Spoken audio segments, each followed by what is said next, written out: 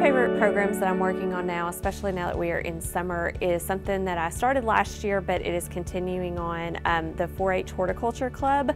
Um, I'm a horticulture agent, so whenever I went into this position, I wanted to also work with kids, um, not just adults. So um, that is a program that was started up last year um, with myself and the 4-H agent um, to incorporate horticulture into a kid's youth programming through 4-H and we're looking forward to competing at the state fair this year.